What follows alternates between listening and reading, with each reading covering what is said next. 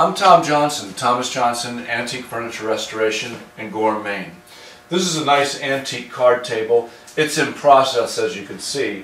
I've been doing a lot of repair work to this apron. But this video will only concern itself with one aspect of this repair work. This table, because it has a flip top, has a swing leg to come out and support the top. And it's a wooden hinge, and that hinge, half of that hinge is broken. Let me show you. So this leg, if the hinge were all there, it swings out to support the top.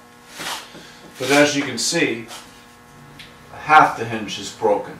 And so I need to repair it.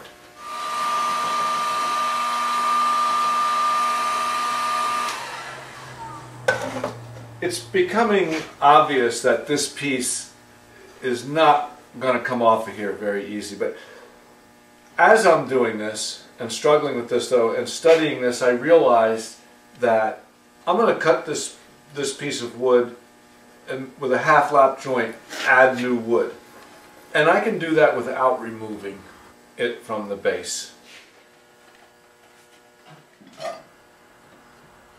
This piece appears to be made out of uh, oak.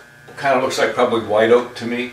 And I've got a nice uh, piece here. I'm going to cut and mill up a piece of wood the same size as this piece.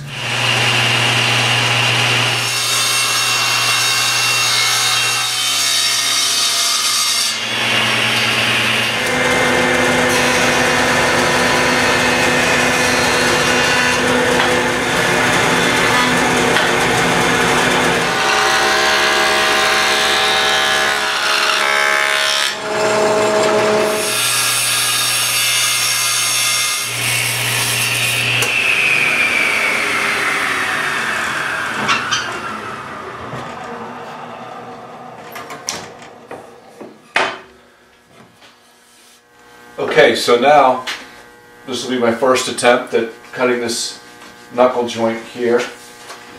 I'm looking at it, I realized as I was looking at this there's a there's a bevel cut here that actually serves as the stop where the other leg meets it right there. And so I think the first thing I'm going to do, I believe it's identical to this one, it almost has to be, I'm going to measure back and I'm going to make that little 45.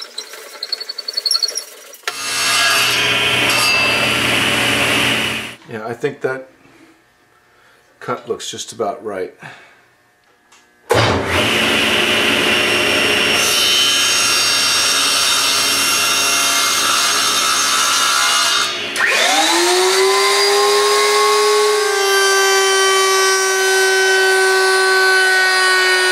I realized as soon as I cut this on the router, it, it looked a little odd. I was getting ready to plane it down to complete my round over here.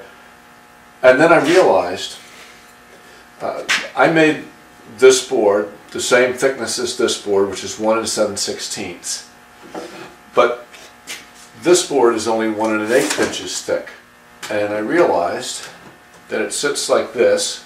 There's a space there and so my, my knuckle here that I'm forming uh, really needs to conform to the one and an eighth inch diameter, not the diameter of the larger board.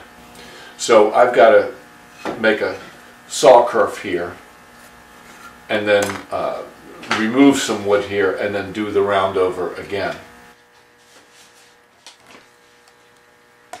I want to cut out this wood here so that then I can complete that circle right there.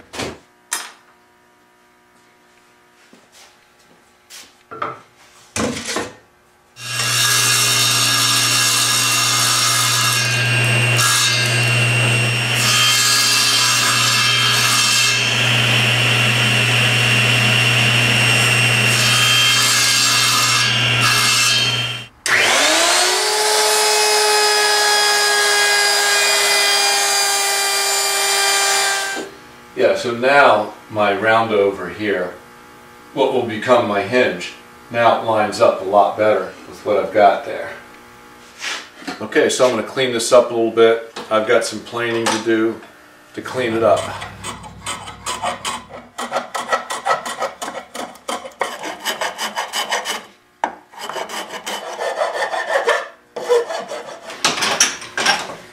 Now I want to mark out my knuckles here, uh, the parts I want to cut away. Now I put a piece of scrap under here to bring this up level with the new piece. I want to make sure that these are aligned.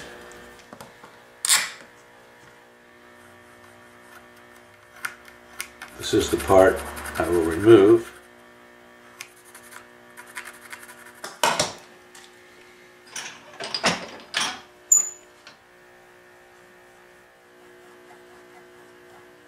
Little defect there.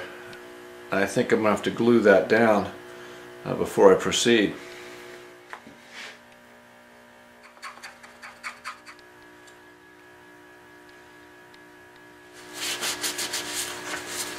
Alright, I'll go make a cup of tea while I wait for this five minute epoxy to set up.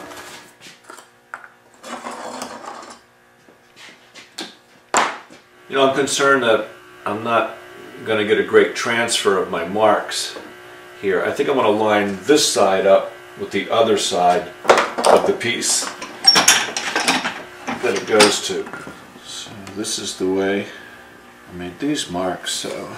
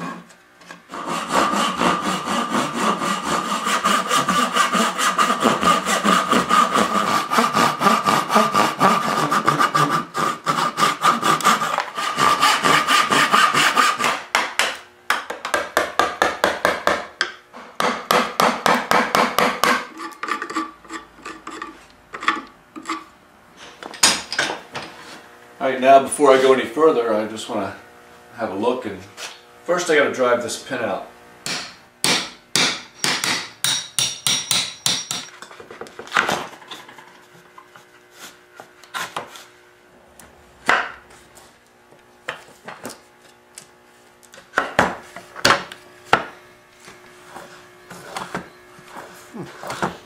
I think this uh, I think this thing could work. I think what I want to do now is clamp these aligned exactly the, the, the way they are supposed to be and then I'm going to drill for that pin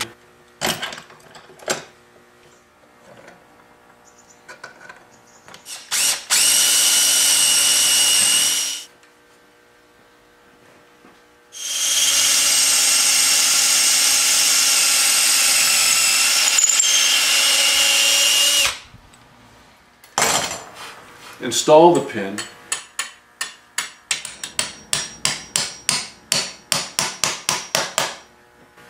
and then finish shaping my knuckles down to match the other, the originals.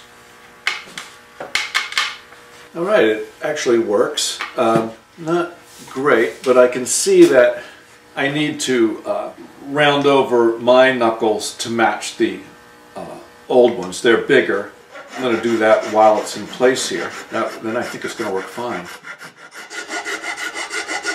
Even though I've got my knuckles, you know, shaped now pretty good, I could take a little more off there, still having problems right here.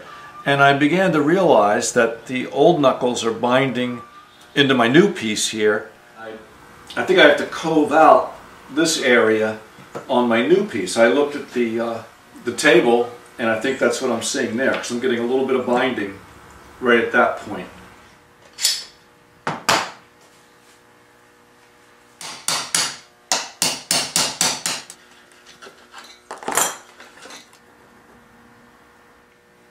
Maybe I'll make it a little bigger, but I only need to take out just that little bit.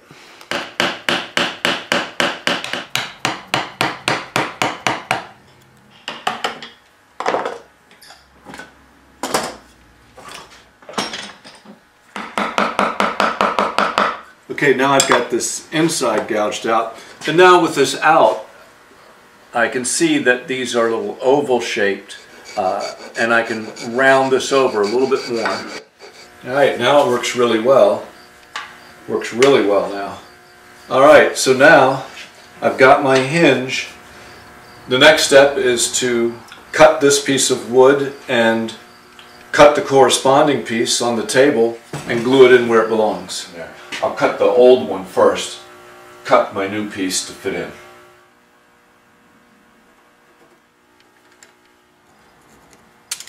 It's somewhat arbitrary, but it, it's going to give me a lot of glue surface. I'm going to tape off what I've marked here as a visual. This is the area of wood that I'm going to take away. I've clamped a just a little routing jig onto the wood I need, you know, where I need to cut it away. I'm going to make a lot of uh, multiple light cuts, moving the jig down as I go along.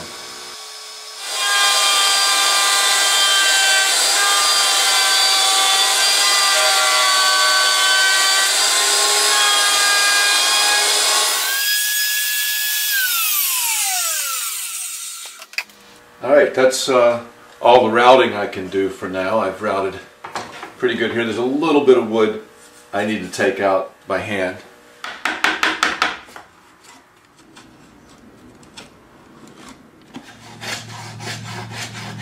Okay, I think I've got a pretty good cutaway here.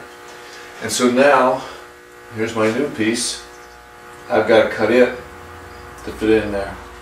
So I reconnected my new piece to the swing leg and I'm going to hold this here right where it belongs and see if I can't clamp this right into position. I think that's just about right. I can mark that out.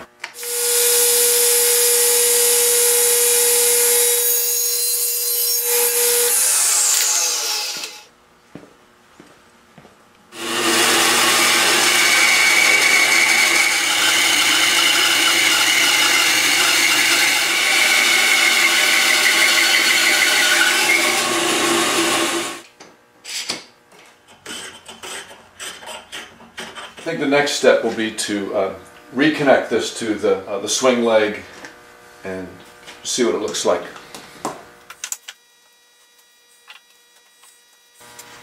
Boy, this looks uh, this looks good. It looks like well, I might need to take a little bit off the end of that. Take this in.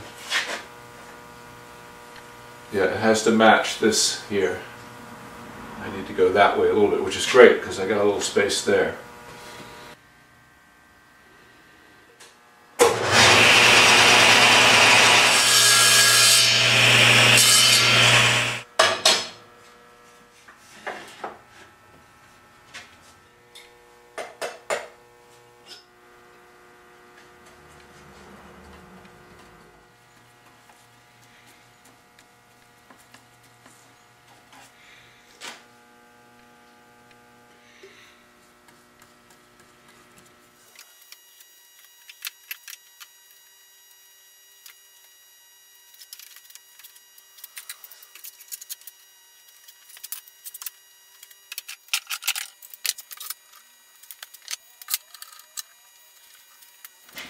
All right, we'll see what happens tomorrow.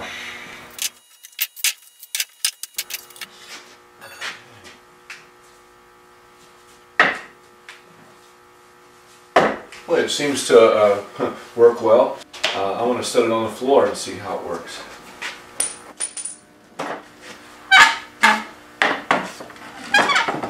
It actually works. So now I, I'm going to fill in my lousy joints here uh, sand this. I think I'll sand this entire surface. Okay, I've sanded everything down nice and level. I think the first thing I'll do is stain the new wood with some thinned out dye stain. Uh, see if I can get it to the basic color of the old wood here. Uh, it's, it's closer to the uh, old wood now. Uh, I'll let that dry and then I'll hit the whole thing with the oil stain. And in theory, all this wood in here doesn't show, but I'm gonna just put some stain on it anyway, just in case. Little, I don't want the raw wood to show around the knuckles. Okay, I've let that dye stain uh, dry for a couple hours. Now I'm going to try some oil stain. I'll go over the whole thing. I have some raw umber oil stain, and um, I'm using that because it doesn't have any red in it. So my new piece of wood looks great. It's uh, too bad it just doesn't look like the old wood that well. There's still a lot of contrast. I think what I'm going to try to do is apply more of that oil stain, but uh, pat it and brush it very carefully and try to leave uh, some on the new wood. Okay, I've uh, I left quite a bit of stain on this new piece, trying to get it the same darkness. Uh, it doesn't need to have any finish on it, but I'm actually going to seal it just with one coat of a Van Dyke Brown aerosol, uh, just to fix that stain so it doesn't rub off. Okay, I've let that aerosol lacquer dry. It's not really showing any build blends in pretty good. So now uh, I will assemble it.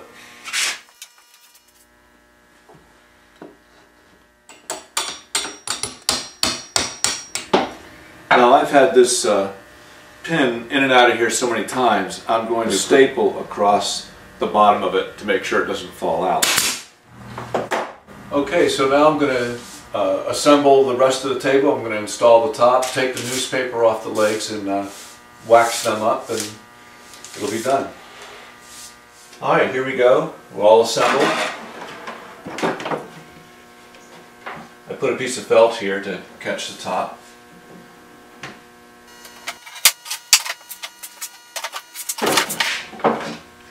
I actually did a lot of uh, other work to this table. Of course, this video just shows the hinge repair. But uh, it's ready to go. It looks pretty good.